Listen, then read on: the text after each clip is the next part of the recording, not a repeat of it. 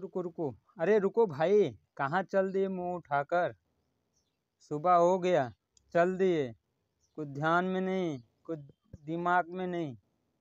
अरे मेरे भाई, मेरी बात को समझो। मैं क्या बोलने जा रहा हूँ, क्या बोल रहा हूँ? दोस्त, वीडियो को पूरा देखना, क्योंकि इसमें असलियत छपी हुई है, ठीक है? इसमें दोस्त हर जगह अपने इंडिया में, उत्तर प्रदेश में हर जगह बातें चल रही हैं।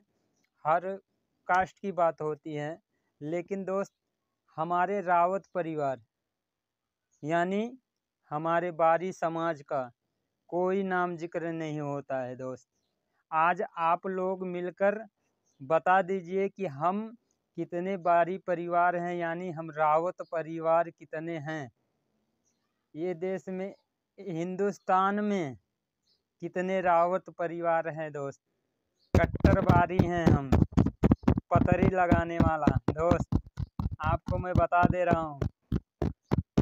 पहले ज़माना में अभी तो मशीनरी चल गई है दोस्त। पहले ज़माना में हम लोग ही पतरी लगाने का काम करते थे जो कि पूरे देश में कहीं भी किसी के घर में कोई भी काम पड़ता था, उसी पत्तल में खाने को मिलता था। आज दोस्त ऐसी दिन आ गई है कि ये रावत परिवार को सब लोग भूल चुके हैं। रावत समाज यानी बारी समाज को भूल चुके हैं मेरे भाई।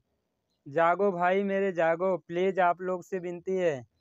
रावत परिवार जागो।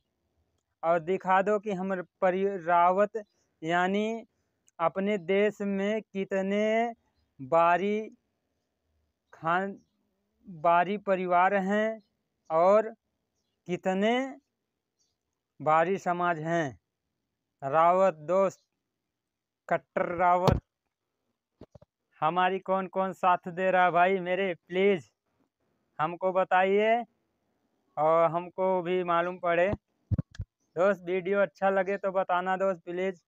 इस गरीब की मदद करना, क्योंकि मैं एक रावत परिवार हूँ और रावत से जुड़ा हूँ। इसके लिए रावत की भाषा बोल रहा हूँ। आप लोग भी जागिए दोस्त। हम लोग का अभी तक इतना बड़ा हो गए, लेकिन हमको ये नहीं मालूम है कि हम पिछड़ी कास्ट के हैं, कि वो ये अपना सामान्य में हैं, कि बैकवर्ड में हैं। कोई ज़िक्र ही नहीं होता। अभी मास्टर से पूछ लिया जाए तो वो भी बोलेंगे, किसी में ढकेल देंगे, पिछड़ी में ढकेल देंगे और सामान्य में ढकेल देंगे, लेकिन किसी को मालूम नहीं कौन से कास्ट में हैं हम लोग। इसके लिए दोस्त निवेदन है आप लोगों को कि हमारी वीडियो को ज़्यादा से ज़्यादा शेयर करें और ज़्यादा से ज़्यादा लाइक करें या मत करें, लेकिन इसको ये जैसे बोलते हैं ना, एक के पास गया ये वो तीन को मदद करे। ऐसे दोस्त, अगर आपके पास जा रहा है ये वीडियो तो आप लोग तीन और के पास भेजिए ये वीडियो को। क्योंकि मैं अपने बारी समाज के ऊपर वीडियो बनाया हूँ। धन्यवाद नमस्कार जय हिंद।